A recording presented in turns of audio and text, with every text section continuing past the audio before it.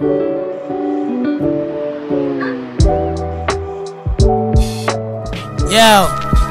ha ha.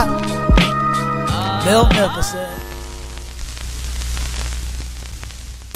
What is good, YouTube? Your boy Miltnificent coming back with another quick video. Today we got the Nike Kobe Mamba Halo hoodie, and quite frankly, your boy is ever so excited because this hoodie, although it came in kind of this small box, this hoodie, at least for the duration of this video, you're going to see probably a lot of black light into this because to the naked eye, when you're looking through the camera, you're not going to be able to see um, a bunch of the decals, at least designs that they put on the hoodie itself.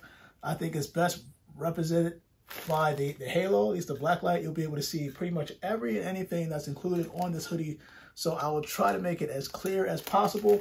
Of course, your boy actually did order a size 2XL, and let me explain real quick. I normally wear XL in hoodies, but because most Nike clothes aren't pre-shrunk, I don't want to run that risk that, you know, I put this in the washing machine, you know, put it on the dryer, then all of a sudden, you know, it starts to shrink. So to avoid that, at least to alleviate that, I usually go a size up. Um, typically, if you want to do something like this, I would re recommend at least drying it on tumble, at least low dry. You definitely do not want to put this on high dry. I can ultimately guarantee you it will shrink. And of course, I will get into the material details when I unbag this, which is actually now. So, without further ado, man, let's get this thing open because I heard a lot of good things about this hoodie. Uh, some people were saying that it looks like it's plain Jane. Ooh, this feels good. It definitely feels good. So, yeah, you're going to like this. So you can see right here, of course, as I'm showing you this, it'll be a video right here with the black light so you can see these designs. You got the Mamba Kobe logo, at least on the front. Let me just pop this thing open real quick. So on the front, you got Kobe's logo right here. At least let me take this out. Uh, this feels really good. For anybody wondering, I know that this is 80% in terms of material. You're talking 80% cotton, 20% polyester. And that's why, you know, you got to watch that combination but it does feel good. It does have a fleece-like material on the inside. I can actually feel that without even, you can see it right here.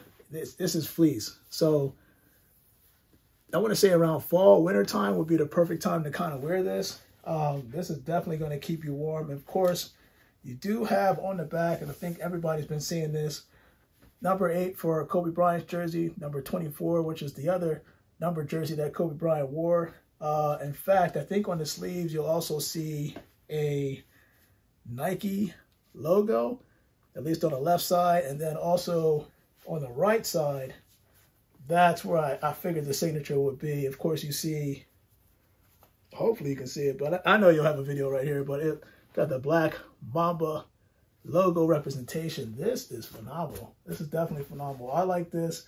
The only thing is that, look, I will say handle with care. you can see me modeling it right here. It does have the kangaroo style pockets and they're pretty deep. So, you know, if you want to rest your hands in there, especially during the fall time, during the winter time, your hands are kind of cold and you want to kind of rest them, that's definitely a good place. But this, in my opinion, is good. Now, in terms of the little string, or at least the the straps, they're they're pretty much pretty much plain Jane.